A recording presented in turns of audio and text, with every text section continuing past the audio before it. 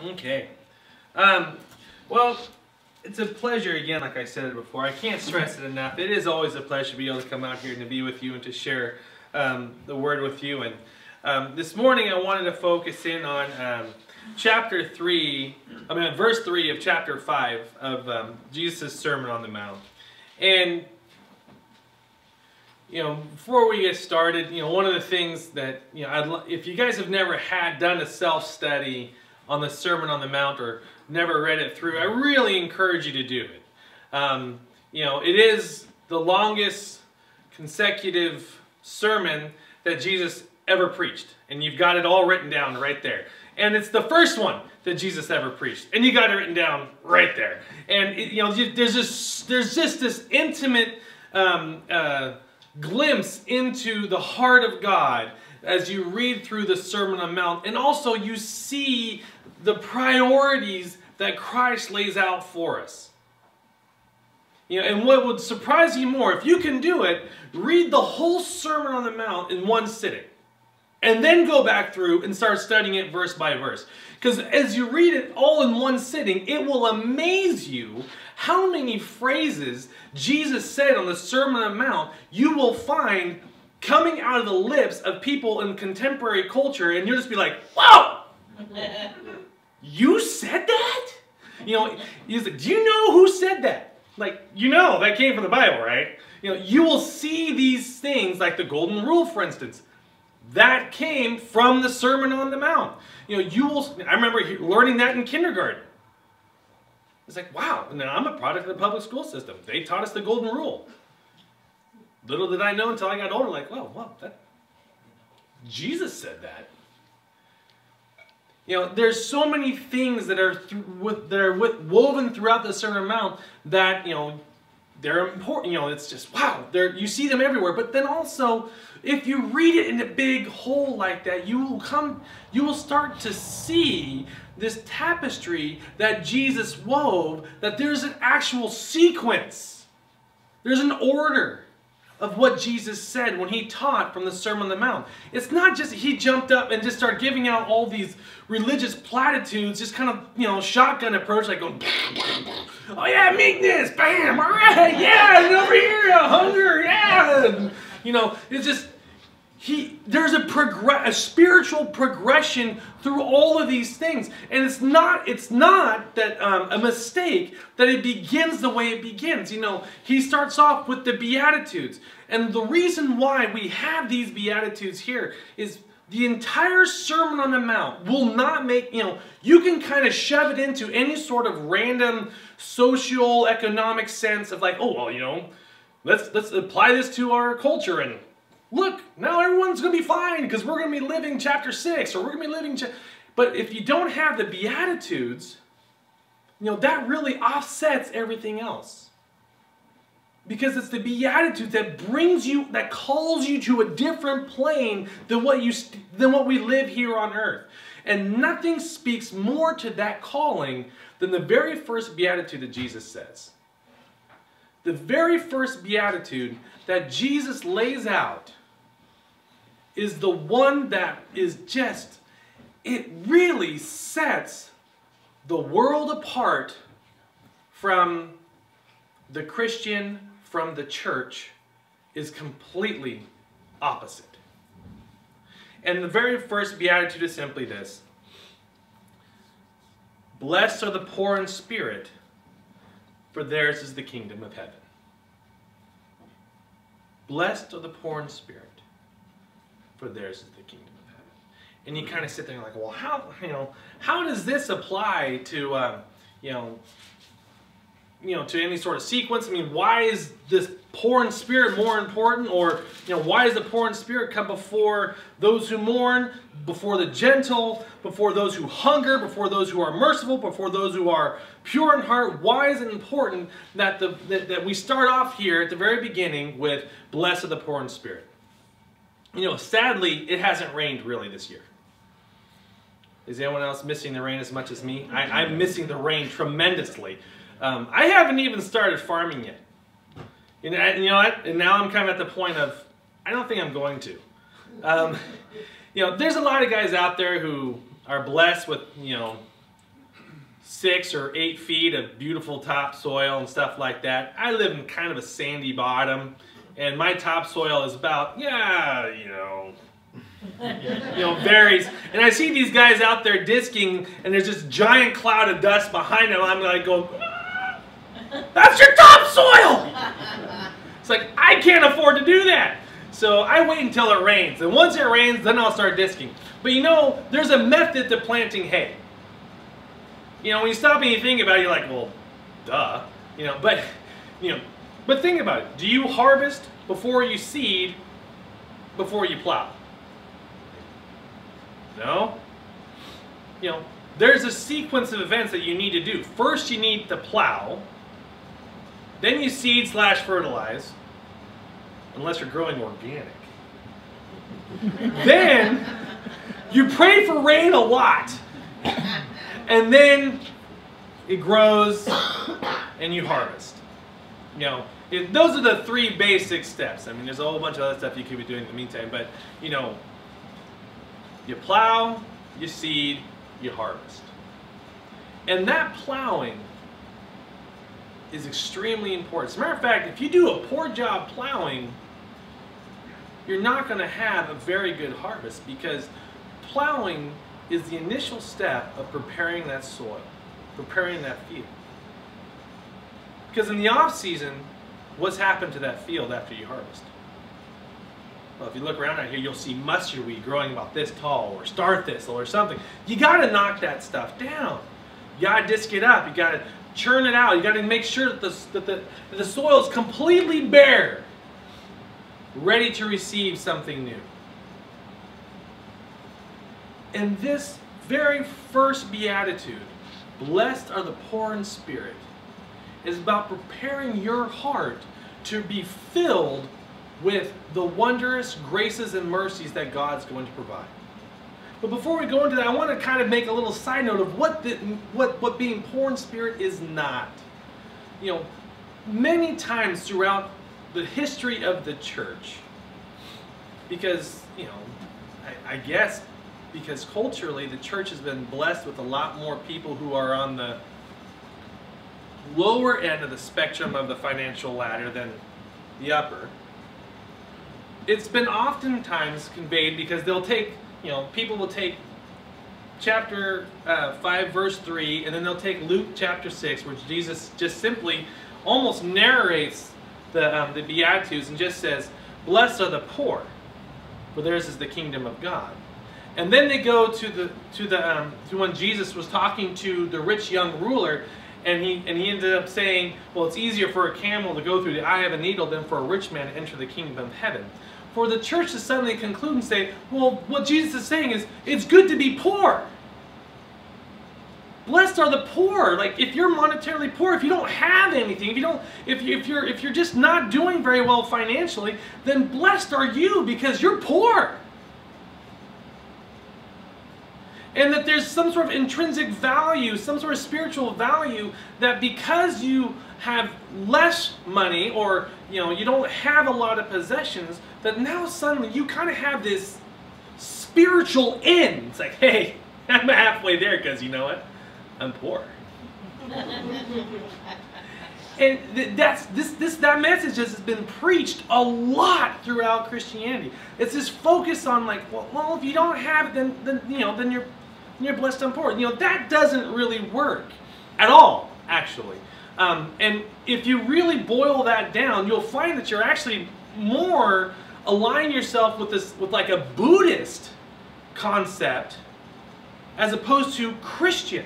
Because you see, what happens is that if, if being poor means that you have this special in to spirituality because you know you're poor, then what happens if someone gives you a dollar to help alleviate your poorness? They're taking some of that away from you. You're being cheated.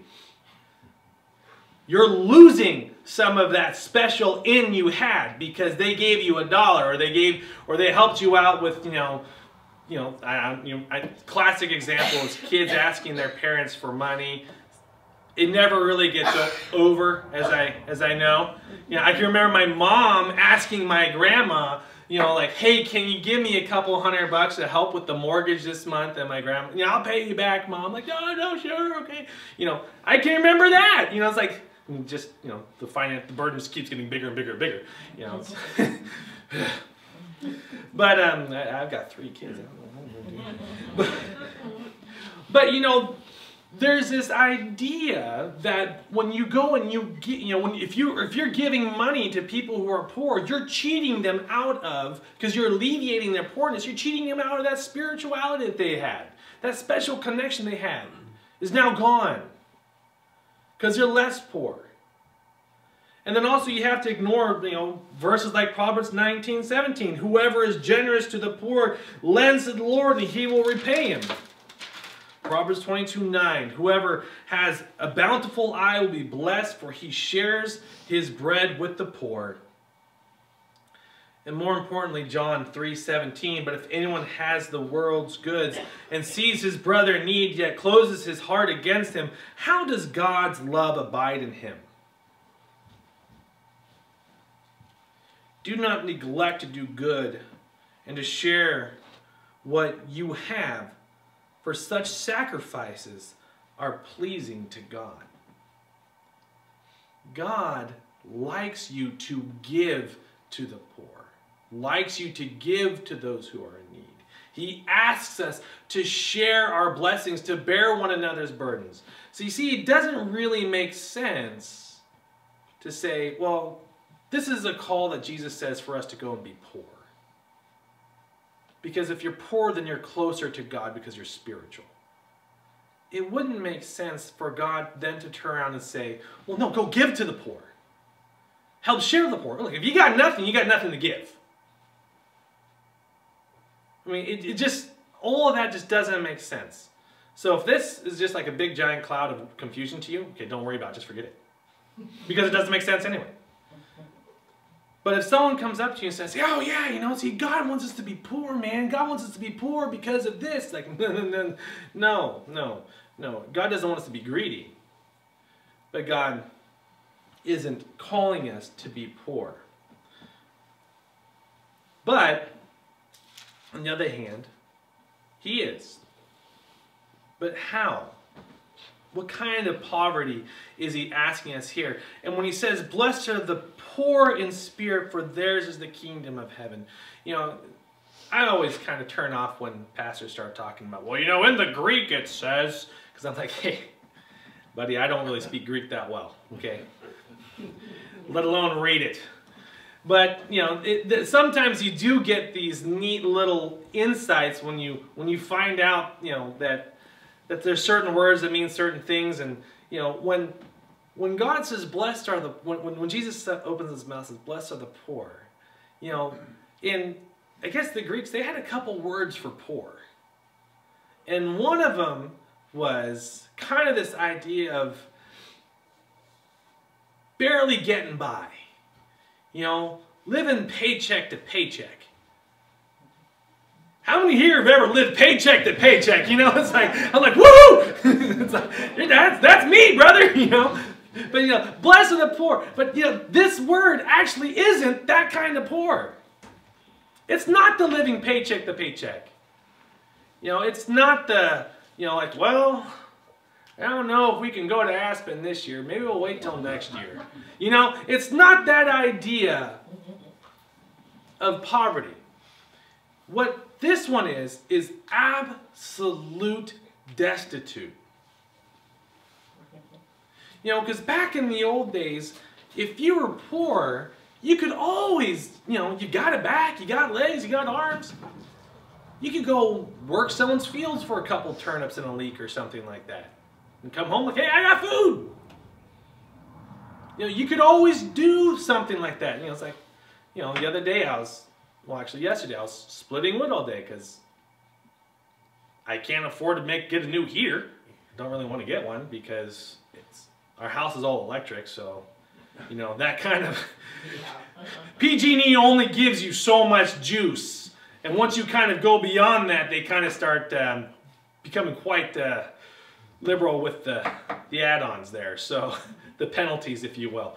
So, but I'm out splitting wood because that's how I'm gonna keep my family warm. I can do that. I got time, sort of.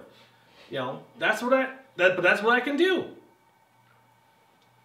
But this idea, you know, and back then, if you so if you were poor, you could go out there, you could make something like that. But what if you were crippled and poor?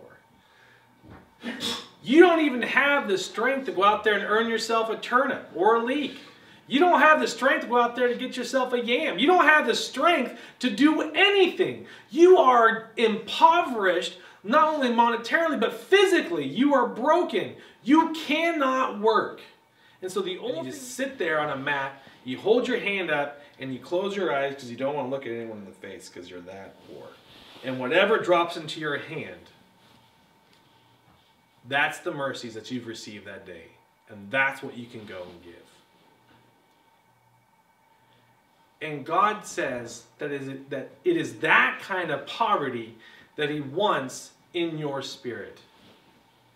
To be so depleted, to be so empty of what the world holds most dear, and that is self assurance and self confidence and the concept of I, basically manifest destiny. I can create for myself the future. I can earn my way. I can do it. And what was that? That song by uh, what's this crazy? I did it my way. You know. God says you need to completely deplete yourself of that thought See, what's important about this first beatitude and why it separates the Christian from the world is here at the very beginning, the very first thing that Jesus says that you need to do is empty yourself. You need to go to the field of your heart and completely disc it and make it completely void of any natural vegetation that is growing there before I can start planting and I can start filling. This is the first step to becoming the light of the world. If you want the light of the world, or if you want to be the light of Jesus to the world, you must first flush out the darkness that is there. And that is where Jesus begins his Sermon on the Mount. And that's what separates this from all the others is this particular beatitude is an emptying while the others are the result of the graces of God being filled within you. You start to hunger and thirst for righteousness.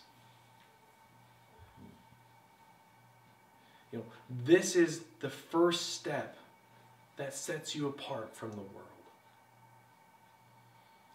You know, as Paul would write to the Philippians in uh, Philippians chapter 3. And, you know, I know we've all read this a million times over.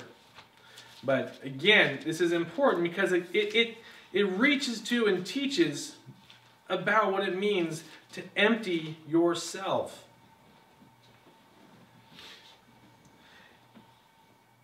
And Paul simply says,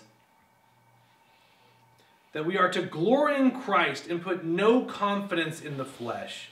Although I myself might have confidence even in the flesh, if anyone else has a mind to put confidence in the flesh, I far more.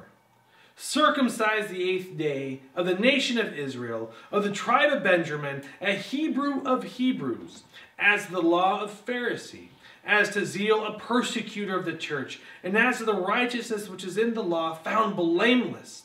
But whatever things were gained to me, those things I counted as loss for the sake of Christ. More than that, I count all things to be loss in view of the surpassing value of knowing Christ Jesus my Lord, for whom I have suffered the loss of all things, and count them but rubbish, so that I might gain Christ. Amen this idea that Jesus, or this teaching that Jesus is saying, this reality is that on a spirit, it's like he's, one, he's drawing us to a spiritual plane, and he's not going to leave it. throughout the rest of throughout the rest of the Sermon on the Mount, you must always have this heavenly view of what Jesus is doing. He's calling us up. You must become, you know, impoverished of your own self-confidence. You know, it's like to make your soul cry out the words of John the Baptist. He must increase and I must decrease.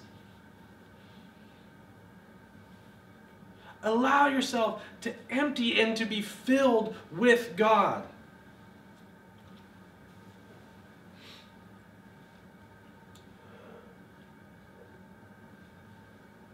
You know, this, this message perfectly coincides with the gospel of Jesus Christ that we, that we preach.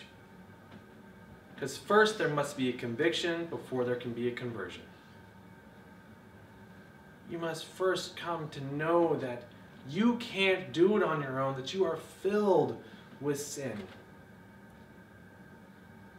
That you need the grace of God to cover your sin, to forgive you of your sin. And Jesus says, I want you to be the light, my light to this world. So first, empty yourself and come to me. And allow, like that, like that beggar in front of the temple, lift your hands up and allow me to start pouring the graces into your palms. Allow me to start pouring my grace into your palms. And what this means for us, what we can take home with this is first off, is yeah, practice, practice this attitude of emptying yourself of your self confidence that you can do it yourself. Practice this idea that it doesn't matter, you know, that, that, that how, where you were born, to whom you were born, and how much you have earned and how much you have achieved in life means nothing in meriting the kingdom of God.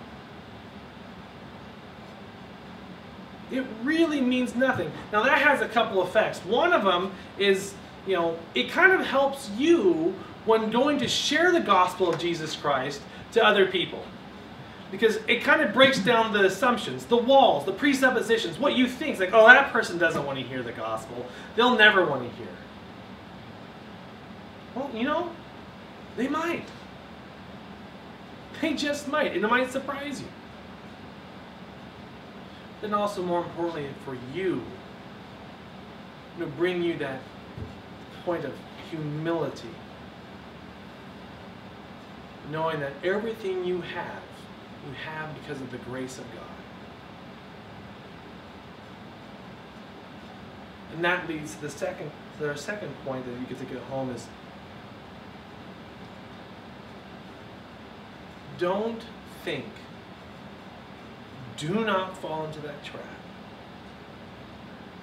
that because we are still human, we are broken, we are weak don't think that just because of that, that you have discounted yourself from the kingdom of God or to be used as a tool by God for his kingdom. Don't fall into that trap. Because, you know, how did you get here in the first place? Did you get here on your own merits? Did you get here by, you know, by working it out yourself? No, you made it into the kingdom of God simply by the graces of God because of your faith in Him. And Jesus' sacrifice on the cross. Therefore, if you struggle, if you're weak, don't disqualify yourself in that thought. Ask for forgiveness and be that light uh, that God wants you to be for a desperately needy world. We are coming up on the Christmas season, and right now, you know, people may hate the phrase, Jesus is the reason for the season. There's no time for your lights to shine brighter than now. Meaning family members and friends, now is a wonderful time for you to bring the light of Jesus there. And it all begins with us emptying ourselves and asking Jesus to fill us with his presence. That we would have confidence in him and his sacrifice And once we take that first step, the rest of the Beatitudes will follow.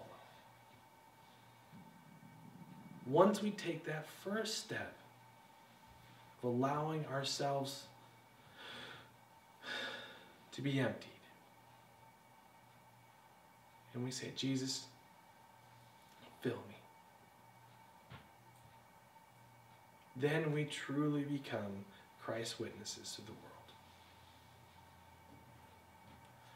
With that, let me pray for you and have a wonderful day.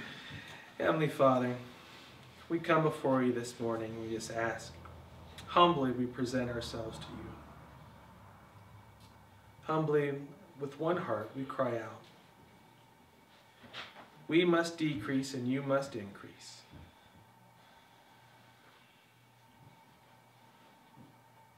Father, prepare our hearts. Prepare our hearts for a rich harvest for you. Father, encourage us day by day as we learn your ways, that we can show the wonders of your grace to a desperately needy world. Father, we praise you for this upcoming season in that our culture still looks forward to Christmas and the opportunities that we have to share your message with the world, what true joy is. But Father, it all begins here. And Jesus, we love you. We thank you for your word. Encourage us and build us up in you. In your name we pray. Amen. Amen.